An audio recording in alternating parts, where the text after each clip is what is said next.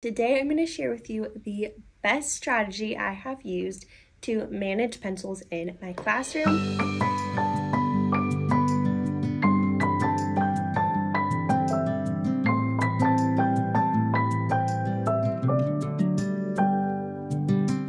Hello, my name is Melody Munch and I'm a second grade teacher in Oklahoma. And today I'm going to share with you the best strategy I have used to manage pencils in my classroom. We call it the Great Pencil Challenge. Now, I do have to preface that I was not the one that created this idea. Around my third year of teaching, I heard about this idea on Instagram. I even went back because I shared about it as soon as I started using it because it was working so well and tried to find the original person that posted and their Instagram had been deactivated. So I don't know who to give credit to, but I just couldn't take that credit for myself. So, to whoever originated this idea, thanks to them, but I love it so much that I just have to share it with you. It not only helps the students keep track of their pencils and be a little more responsible for that material, but it saves so much time and expense in the classroom, not having to constantly go through pencils. It keeps our classroom more organized and more clean. It keeps their desks less messy. So it's just been an all around huge win and it's one of those things that used to be a bit of a hassle that is now never even a second thought. We just all use the pencil challenge and it's easy and it works great. So let's get into how it works. The premise of the Great Pencil Challenge is quite simple. They all get one pencil with their classroom number or you could write their name taped on the end. The student like folded theirs over, but usually it looks like a little flag. The goal for them is to keep track of their same pencil for the duration of the challenge. They keep track of it for however many weeks you choose. My class has now been adding on because if we have a success rate of around 85% or higher, I take that as a clue that we can handle more.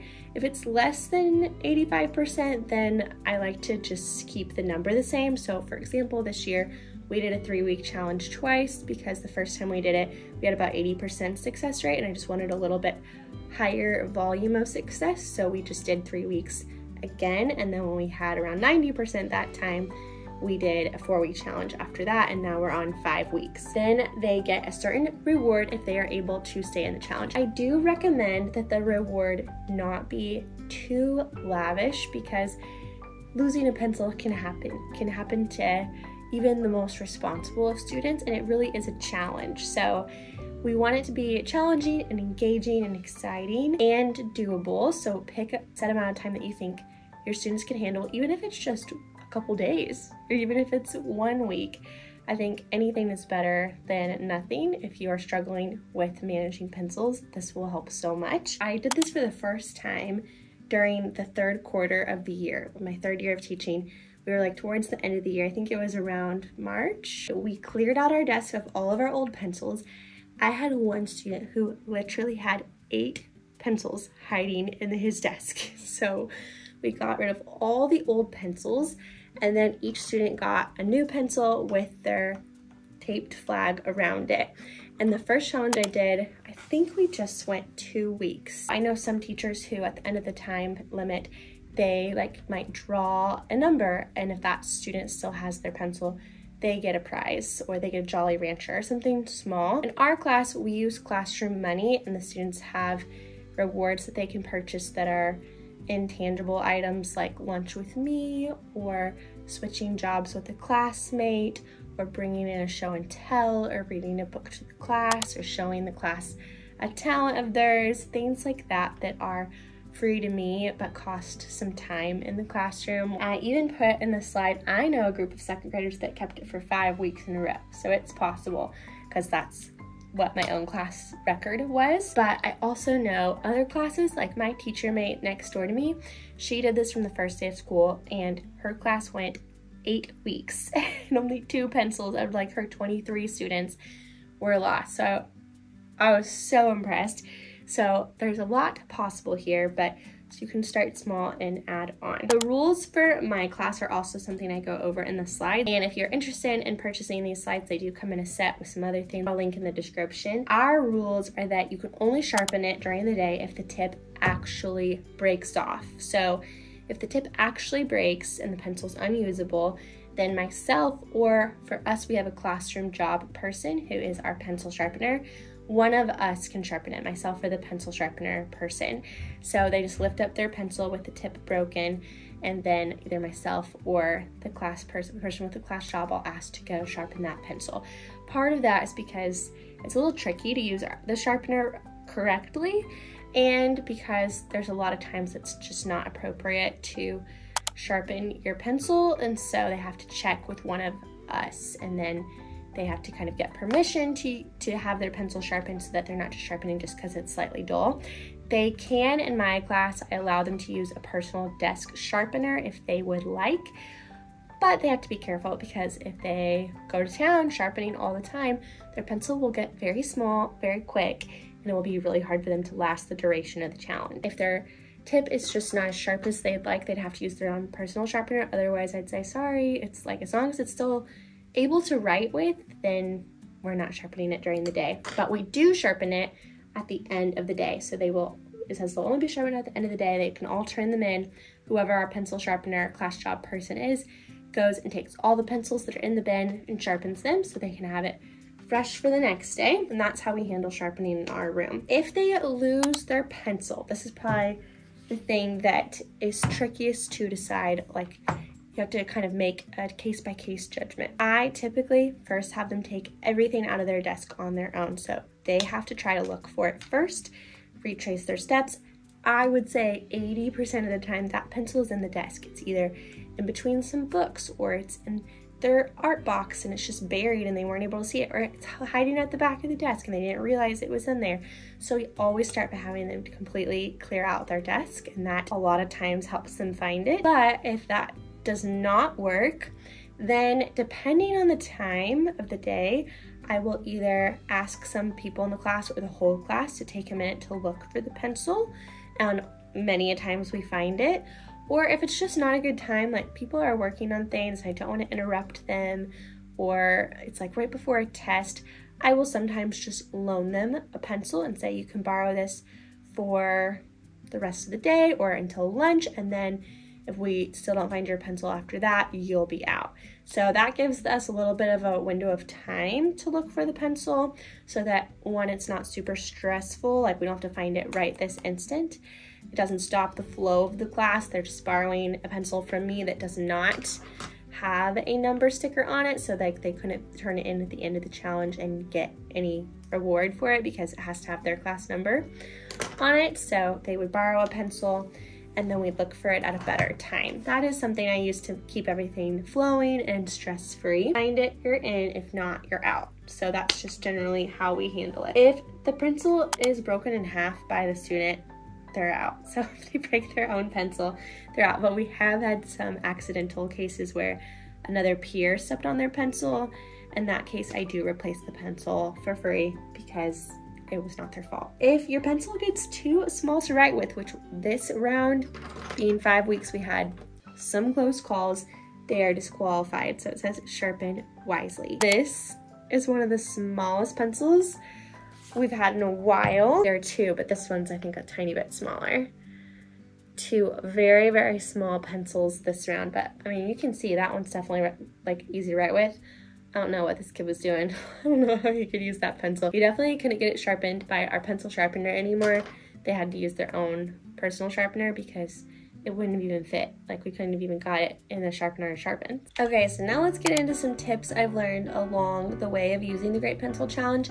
This is my sixth year using the challenge, so definitely learned some things that will help you have your students' pencils last even longer. If you are wanting to do a week or two, I really think most any kind of pencil should be fine. But if you're trying to extend the length of the challenge to three, four, five weeks, I have to recommend Ticonderoga pencils. I wish I could say this was sponsored, but it's not. I would love to be a sponsor for them. The Ticonderoga pencils are just amazing, especially the pre-sharpened ones, because then it's so easy. I don't have to sharpen any pencils to get started with the challenge. They're ready to go. They're sharpened at a nice length So everybody's getting the same kind of pencil.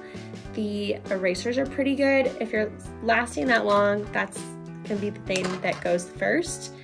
Like the student's eraser went pretty quickly. And so I buy pencil cap erasers. They come in like a set of 100 or two on Amazon and we just have a big jar of them and they can go get a pencil cap eraser and put it on. But these last so much longer. I have tried with other brands of pencils and they just fade out. They just like keep breaking after a certain point.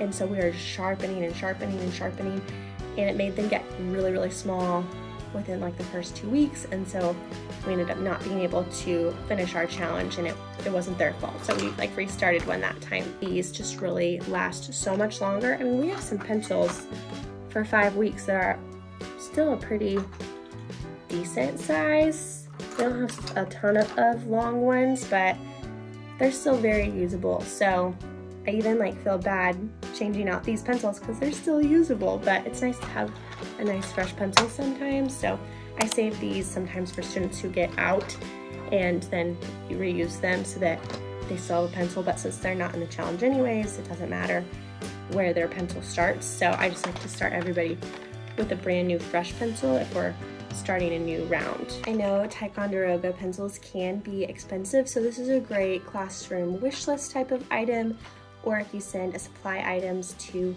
families in your classroom, having a year supply of these is really helpful, especially if your pencil challenges are four weeks or so, then you're only replacing them about once a month. So like this pack of 30 is gonna last me the next five weeks. So even though they are more expensive, too expensive in my opinion to buy if you're going through them. Like I know teachers that go through a whole thing of 30 every single week. So in my opinion, that wouldn't be worth it. That would get really expensive, but if you're using them for a pencil challenge, totally, totally worth it. They will just hold up really, really well and be able to help your students last a really long time. I just use gold masking tape to tape on the numbers. I'm sure duct tape would be more durable, but this has worked fine for me, so that's what I continue to use. And just a Sharpie to write on the number. So very simple supplies. So now it's time to tape up some new pencils for our new round. I'm gonna save all these erasers because I don't want any of those to go to waste. And then we will be ready for next week. We need to give these a new chance and then I need to pay everybody who won for their pencils with our class dojo app is how I do that. That's on my phone, so I can't really show you because that's how I'm recording, but it's just a simple app where you can assign point values to things. I don't use it so much behaviorally, but we do use it for payment for classroom jobs, for turning in their homework, and for their pencil challenge. I feel like there's one more thing. Oh, their desk check. We do a desk check every now and then, maybe every three weeks, where if their desk is organized before, like I give them a warning, they go look in their desk. If their desk is ready to go, then they also get money for that.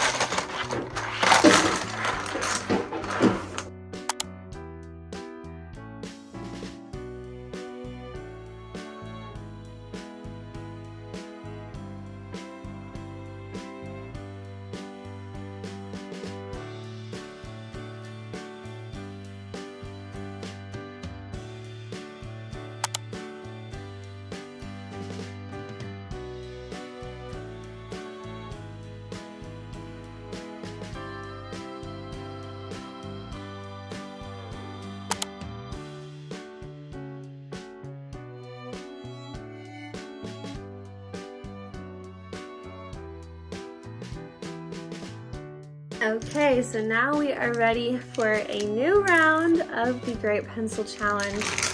Pencils are long, sharp, because they're pre-sharpened, so we are ready to go. That is how our Great Pencil Challenge works. It's been a game changer for my classroom, so much less hassle. I literally used to just have a massive bucket of pencils, and every day, if you need another one, you just go grab one, and at the end of the day, you were supposed to put the pencils in the to be sharpened bin and a classroom helper would sharpen all the pencils and then they could go grab them for the next day. And it worked, but this is just so much more hassle-free. We never have pencils left on the ground because the pencil's on the ground, they just pick it up and go, oh, number nine, so-and-so, this is your pencil. So easy. So we never have an issue of pencils on the ground everywhere or pencils that are like jamming in the desk. Like we just use so much less. They're so much more intentional and they're so much more capable than you might think. My students are in second grade, so they're typically around seven turning eight, or some might be eight turning nine during the year. They are so capable of keeping track of their pencil. Even students who might struggle typically with organization or students who might struggle with the classroom environment in general, I just really believe this is a great fit for the majority of your students. Of course, you might have some students you can just tell it's not a great fit for them. It's just not going to be for them. And that's okay. I really believe that the majority of students can totally handle this. Start small, and I believe you'll see success. I believe students will be engaged in it. They're going to want to keep their pencil, and they might do even better than you think and might be able to have them go longer than you ever thought possible with the same pencil. I really hope you give it a try. If you have questions, please let me know. I'd love to answer them. Thanks for watching this video, and I'll see you next time.